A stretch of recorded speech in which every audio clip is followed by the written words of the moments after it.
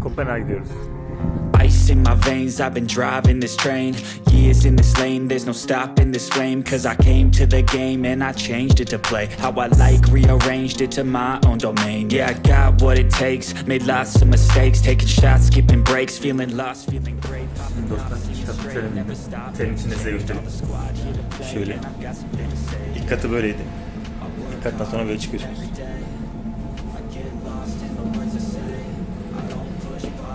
Manzara güzelmiş. Bazı trenlerde mesela e, bisikletleri de girebiliyorsunuz. Bir- Bisikletinizi koyabileceğiniz yer de oluyor. Yani onu bile düşünmüşler yani. Gördüğünüz gibi tren bomboş. Ama kocaman tren gidiyor yani.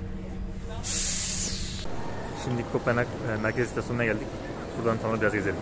Bildiğiniz gibi İsveç buraya çok yakın. Buradan da İsveç'e gitmek için bilet alabilirsiniz. Abi tren garından çıkar çıkmaz zaten sizi Tivoli bahçeleri karşılayacak. Hemen şurası. Burası aslında bir Luna Park. Hatta e, Disney'in Disneyland'ın buradan ilham aldığı da okumuştum bir yerde. Yani küçük de olsanız büyük de olsanız bence e, buraya gelmenizi tavsiye ederim. Yani önceden biletinizi alırsanız sizin için daha iyi olur. Tren garı da böyleydi. Kale olduğu için kocaman yumurtalar koymuşlar. Şöyle hafiften göstereyim sizlere. Arkadaşlar bildiğiniz gibi Hans Christian Andersen e, Danimarkalı, elin yazar e, oradan birisiniz. Ona ithafen o e, Newham'da yaklaşık yani buralarda yaklaşık e, 20 sene yaşamış. Ona ithafen de hem buraya Hans Christian Andersen Bulvarı demişler. Hem de buraya heykelini yapmışlar. Gerçekten burada popüler ve bazı yerlere ismini vermiş. Abi burası Kopenhag Belediye binası. Zaten merkez istasyona çok yakın. Hemen yürüyerek gelirsiniz. Yani burada bütün binalar eski olduğu için hangisi böyle gezmeye değer tam anlayamıyorsun. O yüzden hemen önce bir araştırma yapın bakın. Gezecek yerleri belirleyin. Çünkü gezecek bayağı bir yer var aslında. Hem müzeler olsun hem de tarihi yerler olsun. Bayağı bir gezecek yer var. Hani 2-3 günde dolu dolu gezmek isterseniz 2-3 günde falan gezersiniz. Bugün şansımıza da hava gayet güzel. Ben böyle tek tek anlatmayacağım. Burası e, şu yılda kuruldu falan, şu yapıldı falan filan anlatmayacağım ama ben gezeceğim. Gezerken de bana eşlik etmenizi istiyorum. Gezerken ufak tefek gözüme çarpan şeyleri sizlere göstereceğim. Şehrin her yerinde heykeller var zaten. Gördüğünüz gibi. Bir de yani yüksek yapılı binalar yok yani böyle gökdelen göremiyoruz yani bakın. Ki burası başkent yani. Başkentte bile adamlar hani belli bir sistem oturmuş yani. Şu bisikletleri hep soymuş ya. bir de bazen zincirsiz olanlar var bunların. Köpeği bağlıyorlar, köpeği çektiriyorlar yani bisiklet. Üstlerine mesela birisi biniyor. Köpek çekip gidiyor.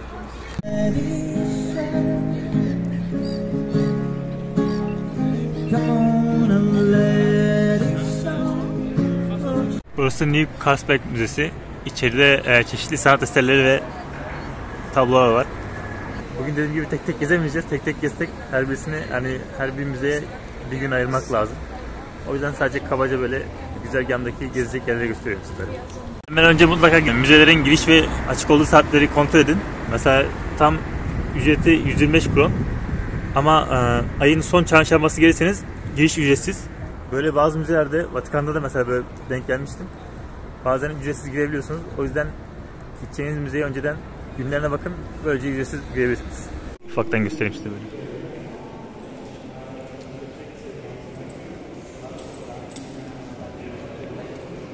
Abi bir şehri bana göre en iyi gezmenin yolu yürüyerek gezmek. Hani biraz fazla yürüyorsunuz ama e, buna değiyor çünkü tüm sokakları, ara sokakları geziyorsunuz. İşte bilmediğiniz yerlere bazen giriyorsunuz. Zaten videoları izlerseniz size e, ufak tefek ipuçları da vereceğim gezmeyle alakalı. Onları uygularsanız zaten çok rahat gezersiniz. Mesela aklıma gelmişken hemen bir tane vereyim. Ben Maps.me diye bir uygulama kullanıyorum. E, bunun sayesinde internetim olmadan mesela e, gideceğim yeri mesela bir müzenin ismini yazıyorum ve oraya gidebiliyorum. O beni yönlendiriyor.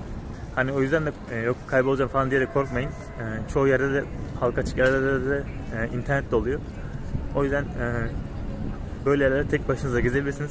Hani hiç de korkmayın. Hem gece cinsiyet de fark etmiyor. Saat kaç olursa, gecenin kaç olursa olsun rahatça gezebilirsiniz. Yani böyle e, burada bir sıkıntı olacağını düşünmüyorum yani. Hemen şu karşımızda gördüğümüz e, az önce gittiğimiz müzenin hemen karşısında Danimarka Ulusal Müzesi var. Birbirine çok yakın. Yürüme mesafesi zaten. Şu karşıda da bir yer var. Bakalım orası neresiymiş. Sanırım oraya gidelim. Bugün bir gösteri falan var galiba. Hediyelik eşya vesaire almak isterseniz buralarda var.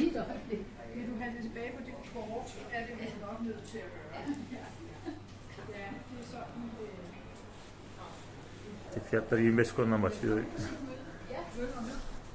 100-200 korona kadar gidiyor yani. Şuna bakın ateş yakmak için. Bushcraftçılar bilir. Taşa çarpıyorsunuz ve böylece e, kıvılcım çıkıyor. Çık- Sonra da ateş yakıyorsunuz.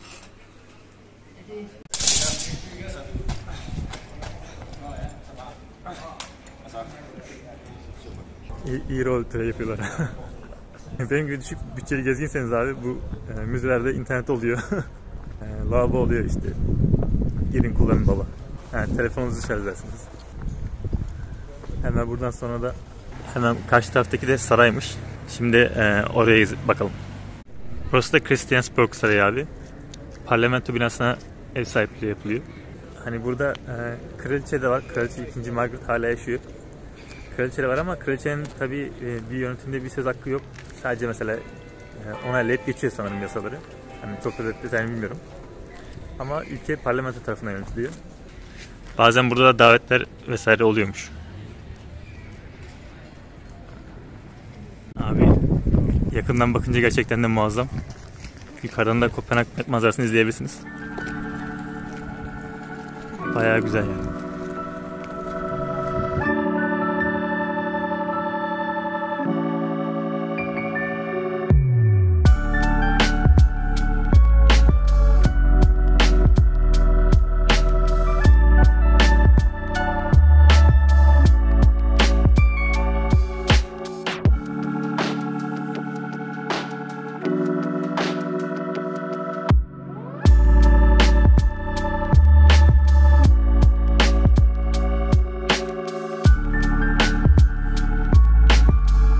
Burası Hollanda kadar bir kanal şehri olmasa da burası da güzel kanallar var. Yani e, feribot turu yapabilirsiniz. Tavsiye ederim yani vaktiniz kısıtlıysa. Ben şarap seviyorlar demiştim yani. yani çöp taşmış yani. Geri gezmenin başka bir yolu da şöyle ya bisiklet kiralayacaksın ya da bu elektrikli taşıtlar var işte Segway olsun. İşte elektrikli motor gibi bir şey vardı mesela. Onları da kiralayabilirsiniz. Böylece e, daha hızlı gezebilirsiniz. Ama dediğim gibi en iyisi yürüyerek gezmek abi unutmayın. bir de bazı yerlerde böyle noktalar var. Burada e, ilk yardım yapmak için bazı malzemeler var. Ya bu Avrupa'nın genelinde var görmüştüm. Bence gerekli bir şey yani. Bazen de hatta şey bile defibrilatör bile var. Hani bu şu kalp krizi geçince şok veren alet var ya. Ondan bile bazı yerlerde oluyor yani. Burası hangi sokak bilmiyorum ama kalabalık diye daldım içeri. Aynı bizim istiklal'e benziyor. Bayağı bir kalabalık. Havada güzel olunca herkes dışarı çıkmış bugün. Sokak üstünde rastgele yürürken e, Güneş Dünya Rekorları Müzesi'ni buldum. E, o adam da dünyanın en uzun adamıymış zamanında. Eğer ilginizi çekiyorsa buraya da uğrayabilirsiniz. Yani bazen akışına bırakmak iyi oluyor. Öyle rastgele gezdiğiniz zaman bazen hiç ummadığınız yerler karşınıza çıkabiliyor. Mesela burada e, vintage kıyafet satan yerler var işte. Bazen ufak tefek pazarlar oluyor. E, öyle yerleri yani internette bulamayabilirsiniz ama böyle gezerek e, bulabilirsiniz. Abi bu arada en başta söylemem gereken şeyi en sona söylüyorum ama kusura bakmayın. E, Kopenhag yani Kopenhag, Kopenhag diyorlar. E, bu iki kelime oluşuyor aslında. Kelime köküne inecek olursak. Kursta hocamız öğretti bunda. Kop e, satın almak anlamına geliyor. Bence de. Havn da e, liman, harbor yani liman anlamına geliyor. Kopenhag aslında ticaret yapılan bir yer manasına geliyor hani anlamına olarak baktığınız zaman.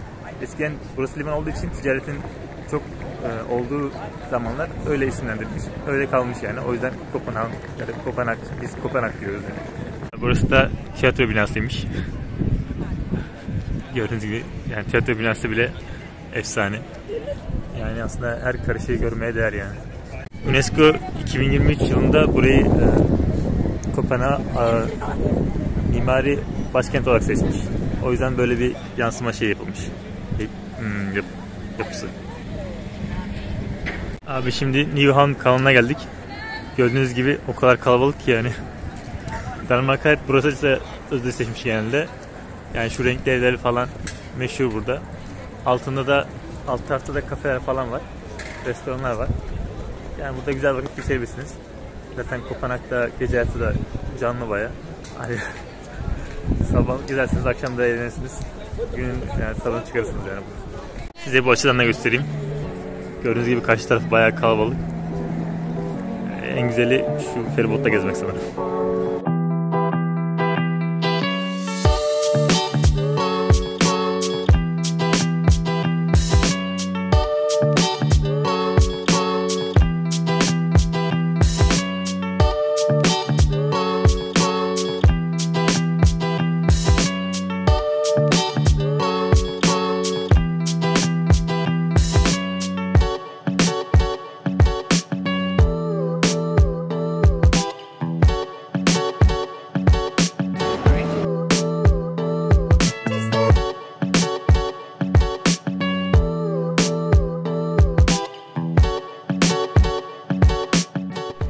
Geçerken bunu da gördüm. Adam çok iyi yapmış tatlını yani. Abi şu e, ekmeğin üstüne şöyle çeşitli şeyler koyuyorlar. Balık, işte karides vesaire. Bunlar bayağı meşhur. Bunu bayağı tüketiyorlar, seviyorlar da. Güzel, tadı da güzel yani. Mesela bir restoranın fiyatlarına bakalım. Şurada mesela en basitten bir menü var mesela. E, patates çorbası, e, et ve e, tatlı var. 500 kron yaklaşık.